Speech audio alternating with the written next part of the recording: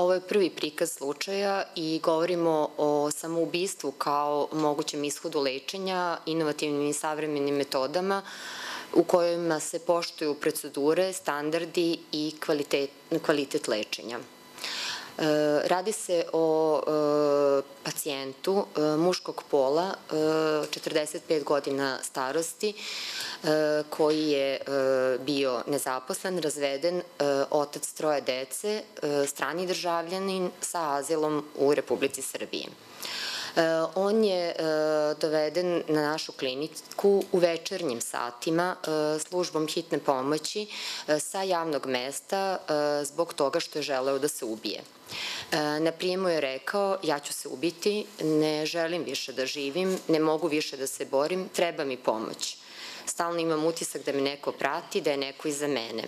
Daje podatak i o povremenom korišćenju alkohola. Iz ovog psihičkog opisa psihičkog stanja vidi se da je pacijent neraspoložen, plačljiv, e, da ima pesimistički pogled na život, e, prisutne su bolesne ideje proganjanja, on ne spava, ne jede i nema volju ni za čim.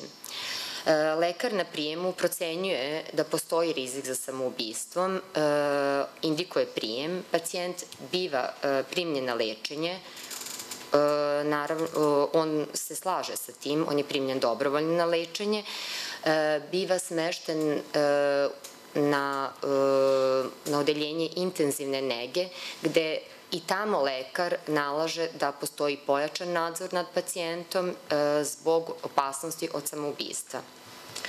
Posle prospavane noći u bolnici, a nakon toga što je e, dobijen podatak e, da pacijent nema zdravstveno osiguranje, e, da je izvesno da lečenje neće moći da bude naplaćeno, on biva otpušten odmah sutradan uz mišljenje da ipak nema rizika sa samoubistva, znači samo nakon jedne prospavane noći u bolnici. E, ja imam osnovanu sumnju da tako nešto nije moguće e, da se desi preko noći, kakva god da su metode i procedure primenjene. Moje pitanje je da li ovakav pacijent ne zavređuje lečenje samo zato što nema zdravstveno osiguranje, odnosno lečenje neće moći da bude naplaćeno.